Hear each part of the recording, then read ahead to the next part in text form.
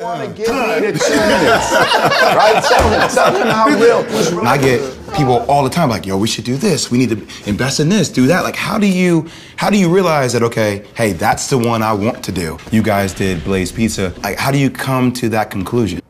I can be quite frank about Blaze. It's like, do you like pizza? That simple. I fucking love pizza. Pizza. There's a chain that's going out. First one was going on UC Irvine here in California.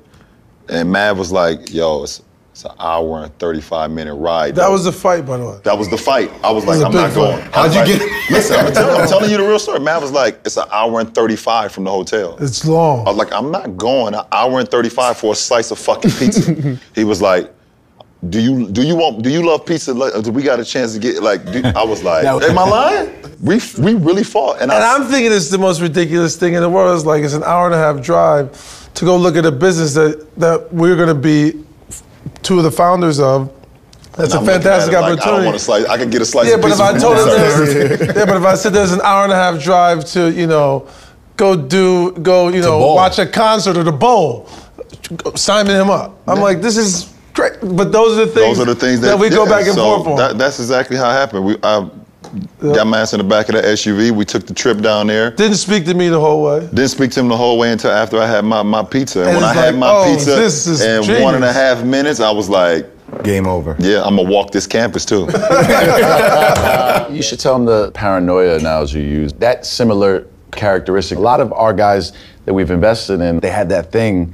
Man, I'm just always trying to grow as a ball player. I feel like you need to continue to keep getting better, keep striving for something no matter how good you got. And when you take a break or you're not thinking about it, not focusing on it, for me, it just felt like, you know, something was creeping up behind me. And I just always wanted to stay ahead of it.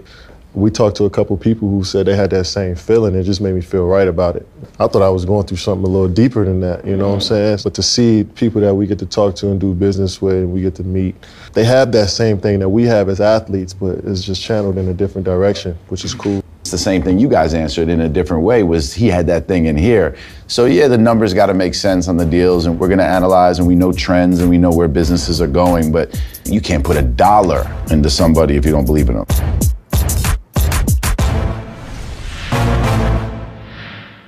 I remember the first time I started learning about business, it was from hip hop.